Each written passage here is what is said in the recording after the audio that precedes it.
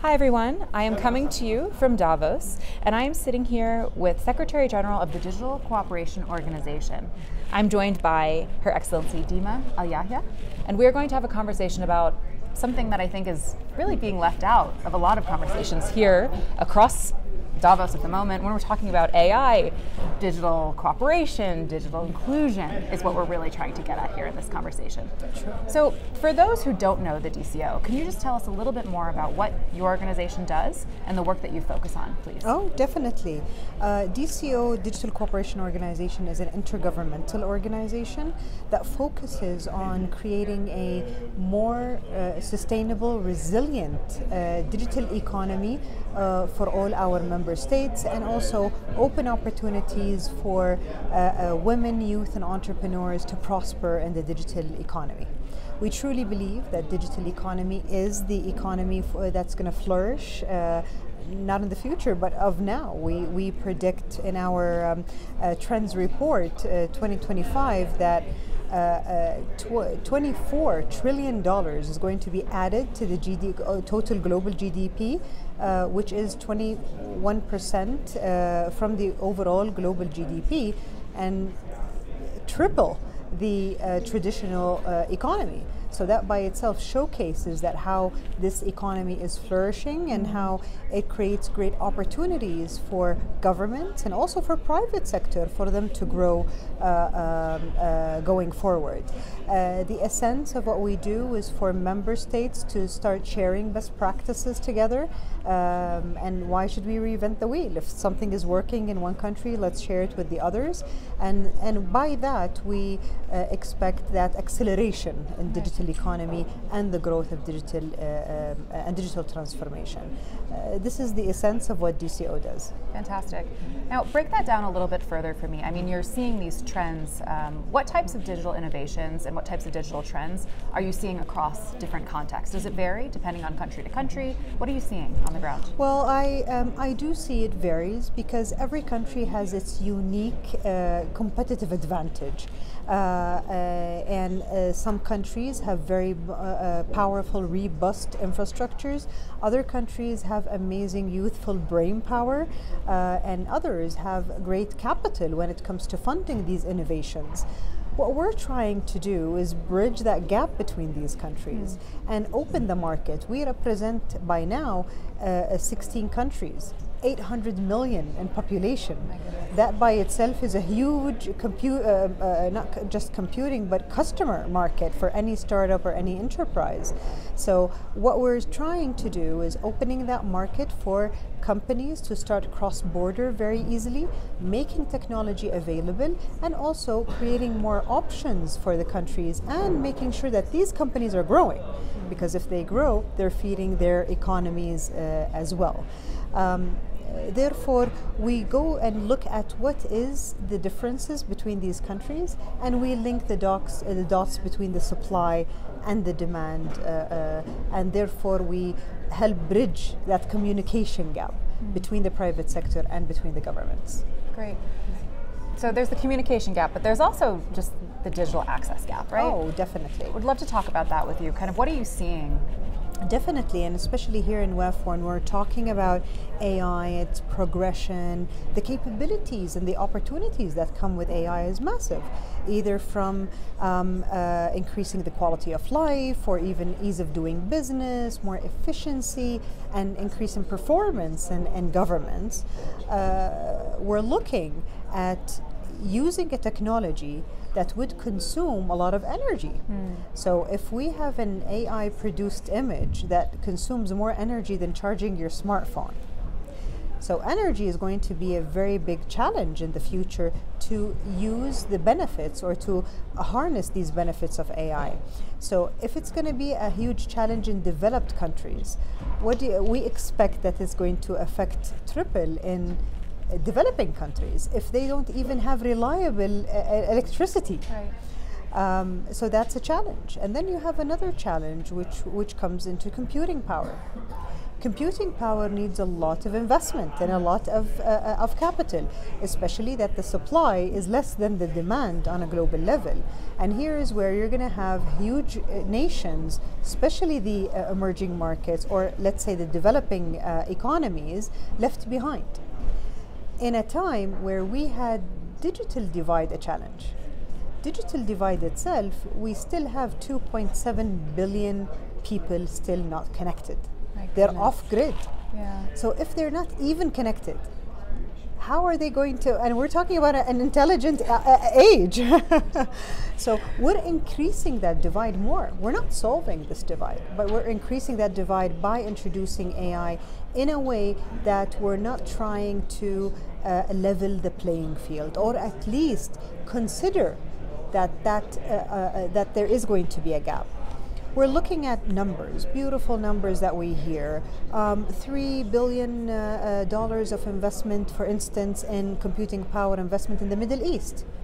Uh, we're looking at trillions of dollars being put into uh, uh, infrastructure for uh, AI. but I would say, where is that capital going? It's in a very, um, a very limited number of countries that you can count in, in uh, uh, with your um, uh, with your um, uh, uh, with your hands. So. Um, this is where our concern is, mm. making sure that at least we provide the right uh, re resilient, sustainable infrastructure for our member states, enable them with the education and the talents and, and the, um, uh, the upskilling uh, of talents that they need to create their own local content and start innovating uh, and creating their own uh, uh, AI applications. Right. You know, you're so right. I feel almost here at Davos a little bit of whiplash, right? I was as I was walking to meet you, Secretary General, I passed by on the promenade a dog that was a robot, but his hands were up like this, like a regular dog, and he was walking around. He had a little yeah. tail. And then I'm kind of going back and thinking about the things that we cover at Devex and the things that you're focused on, which is which is this equity divide. Yeah. Um, so, kind of all of that to be said, I would love to know a little bit more if you could perhaps give me an example of the way in which this works um, on a particular country, perhaps one member state or one business partnership. Oh, definitely. You know, as I, I, um, I can I can sum it up in three main things, but First, uh, as I've mentioned uh, uh, earlier, is that we're looking at where is the competitive advantage in one country. And here is where we have created the Gen AI Center of Excellence, mm-hmm. where we are decentralizing that capacity.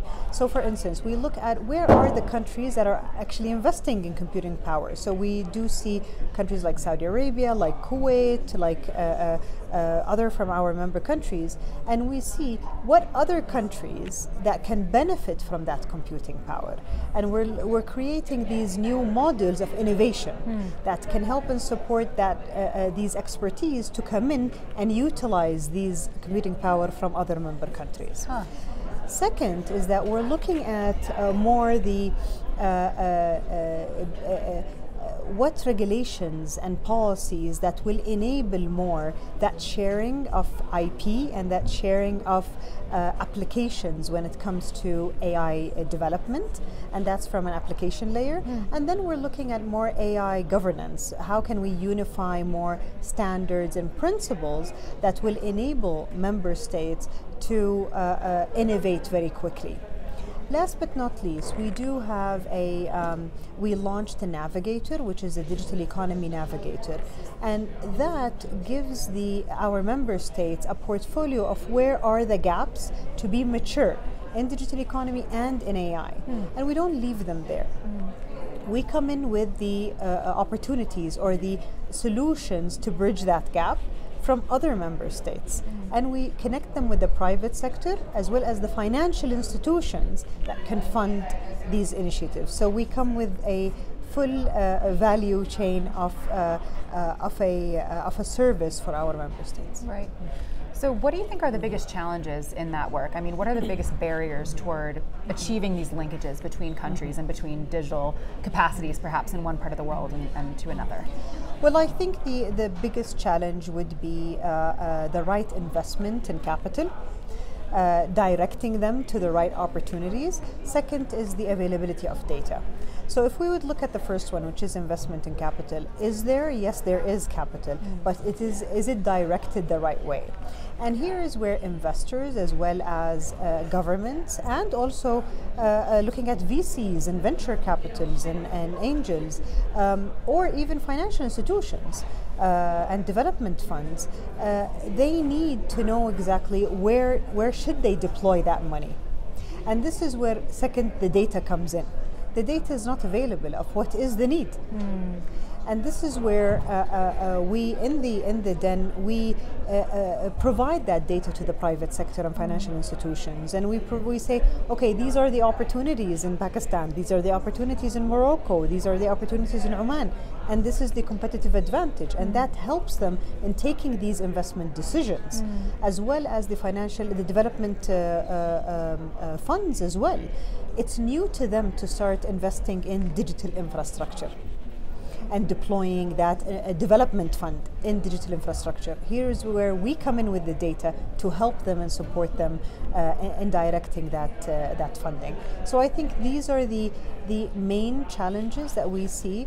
Uh, the third challenge is the supply the supply is less than the demand, mm. and uh, this where cooperation and working with each other, with the governments, with the private sector, is essential mm. Uh, uh, to bridge that uh, supply demand.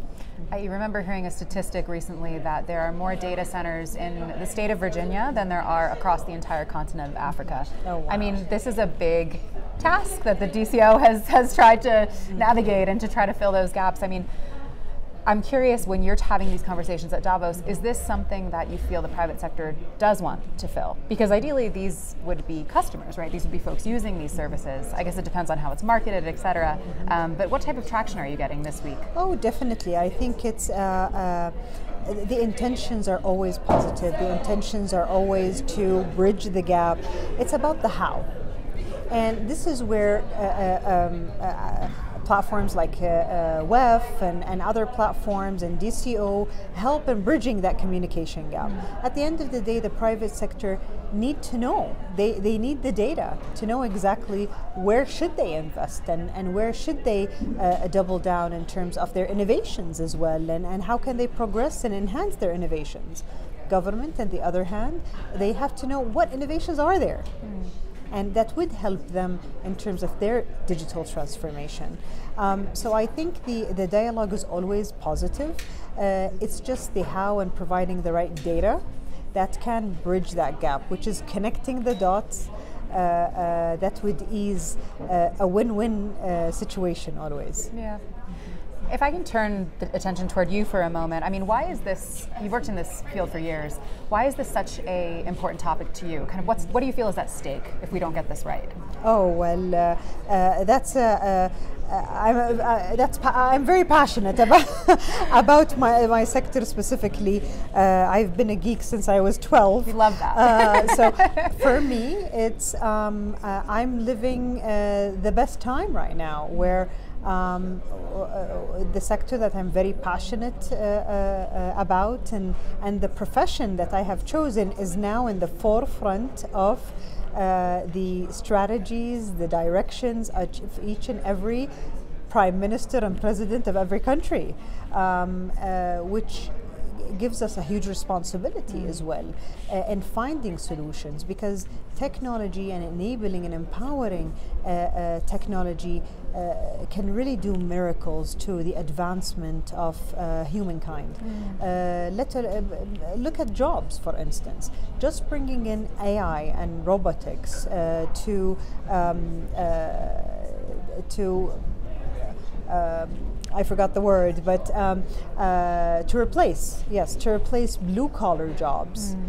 That will uplift uh, uh, the humankind to get more, more white, co- white collar jobs. Mm. And this is what we need. We need to upskill people to get the white collar jobs. Mm. Uh, so these are all potential that uh, um, technology provides. Healthcare, for instance, uh, telecom, te- sorry, um, telemedicine, for instance.